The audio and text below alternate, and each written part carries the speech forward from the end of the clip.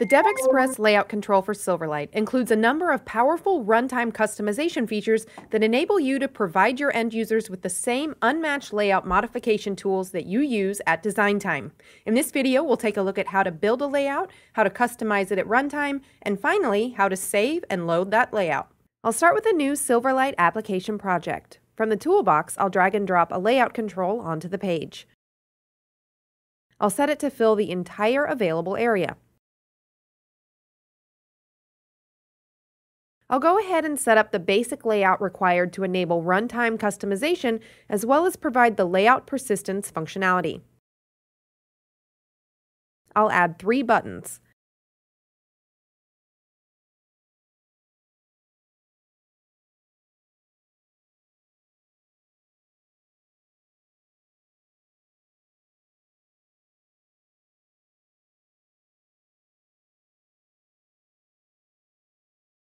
The first two buttons will be used to save and load the layout control.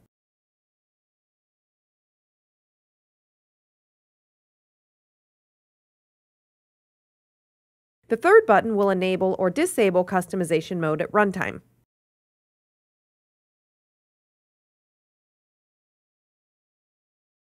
Now I need to add another layout control. This one will be used to build the actual layout and demonstrate the runtime customization features. I'll set the orientation of the parent layout to vertical and set the second layout control to stretch and fill the remaining available area on the page.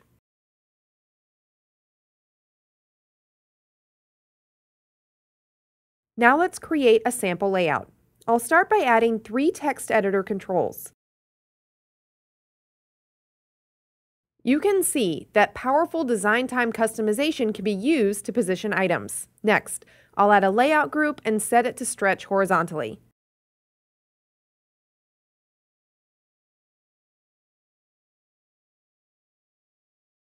I'll add a few more editor controls inside the layout group.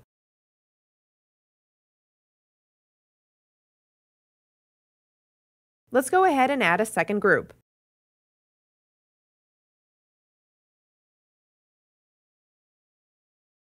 I populate it with four editors.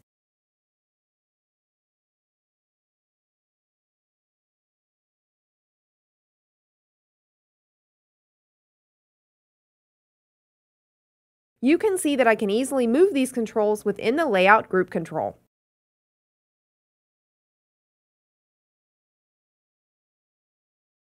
I'll rearrange it so that two groups are formed, each containing two editor controls. These are invisible groups and are used for organizational and positioning purposes. You can see two controls are grouped by the thin light blue box encompassing them. I can switch this group to a tab view by right-clicking it and selecting Tabs from the Context Menu's Views submenu. Notice that each group was split into a separate tab, and I'm done with the basic layout, so let's go ahead and add the necessary code to persist the layout and enable customization at runtime. I'll click on each of the buttons to create a handler for the click events.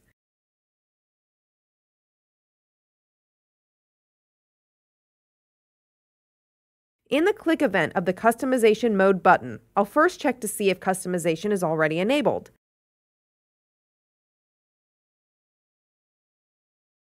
If so, then the property is set to false to disable it.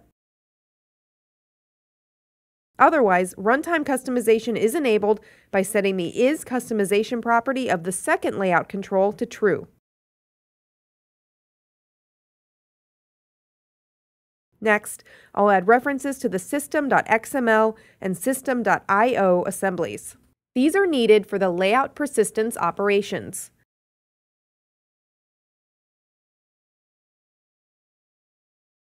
For the first button, I'll add the following code to allow the end user to browse and save the layout as an XML file.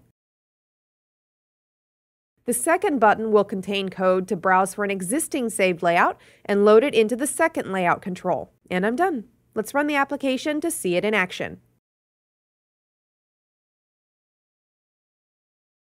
And here it is. You can see the layout I built on the bottom. However, by default, nothing can be moved or customized. I'll click on the Customization Mode button and Runtime Customization is enabled on the second layout control. This is indicated by the red outline around the control. I can select groups or individual items. I can select a tab and rename the tab headers. So let's go ahead and rename both of these tabs.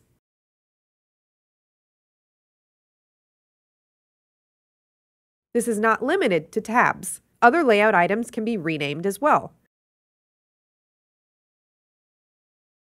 The order of tabs can be changed, and I can add a new tab at runtime.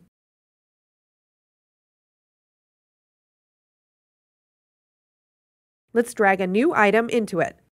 If I select an item and remove it, you'll notice that it ends up in the available items list on the left. Through this panel, you can also add the ability to create new items at runtime. I'll go ahead and add a new group box and a new tab control. Notice that if I remove one of the newly added items, I can dispose of it completely by clicking the small X button next to its name within the Available Items panel. Let's further customize the layout and add the layout item to the new tab control.